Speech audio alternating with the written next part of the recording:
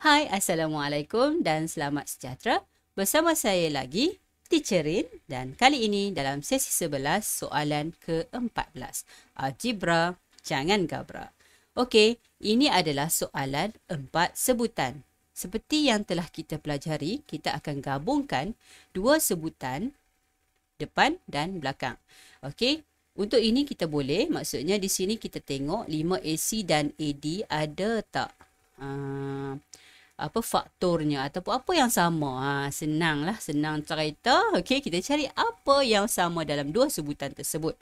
Okey, apa yang sama adalah A dan A, kan? Okey, jadi kita akan keluarkan A dan letak di luar. Apa yang tertinggal di situ kita masukkan di dalam kurungan. Begitu juga dengan dua sebutan berikutnya. Jadi apa yang ada yang boleh kita keluarkan? Okey, 10 dan 2. Boleh tak kita keluarkan? Ha, kita boleh guna sifir 2. Jadi kita keluarkan 2. Alright. Dan uh, unknown ataupun pemboleh ubah BC dan BD ni apa yang samanya adalah B. Jadi kita keluarkan 2B. Okay. Apa yang tinggal di dalam kurungan?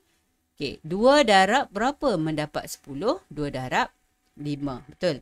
Okay. Dan B kita dah keluarkan jadi C tertinggal lagi lah di sini.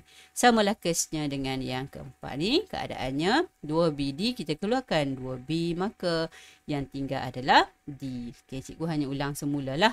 Yang mana sepatutnya kamu dah cekap. Okay, jika kamu betul-betul mengikuti uh, modul ini insyaAllah bab itu dah berada dalam genggangan kamu. Jika belum, jangan putus asa. Cuba buat lagi dan teruskan um, kamu punya usaha untuk berjaya dalam algebra terutamanya. Okey. Baik, itu apa yang kita perlu buat adalah kita gabungkan yang mana kita dah uh, ni kan uh, kita dah keluarkan A dan 2B, alright. A tambah 2B. Okey dalam kurungan uh, tampak tak 5C tambah D dengan 5C tambah D sama kan? Jadi kita letakkan satu kurungan di sini. Okey. Itu sahaja untuk jawapan uh, soalan sesi 11, soalan 14 ini. Okey. Itu sahaja daripada saya. Uh, diharapkan ini dapat membantu kamu untuk menjawab pemfaktoran empat sebutan.